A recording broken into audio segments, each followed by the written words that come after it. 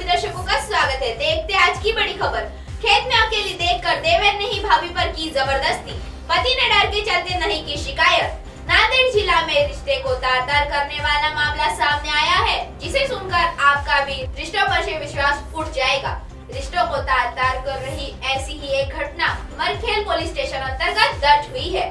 सूत्रों से मिली जानकारी के मुताबिक यहाँ पीड़ित महिला खेत में काम करने के लिए गई। काम कर रहा था। आसपास कोई नहीं है। यह देखकर उसने अपनी भाभी को खेत के झाड़ियों में ले जाकर उसके साथ अश्लील हरकत की। और यह बात किसी को भी मत बताया तो। जान से मारने की धमकी भी दी। इस मामले में उसके परिवार के सास, ससुर, पति, इनमें से कोई भी पीड़ित महिला की तरफ़ से खड़ा नहीं हुआ है। तकरार करने में आनाकानी करने वाले पति को महिला ने छोड़ दिया है। और पुलिस में जाकर शिकायत दर्ज करवाई है। मामला तीन लोगों के खिलाफ दर्ज कर लिया गया। फ़िलहाल पुलिस निरीक्षक चंद्रकांत गुंगेवाड़ मामले की जाँच कर रहे हैं।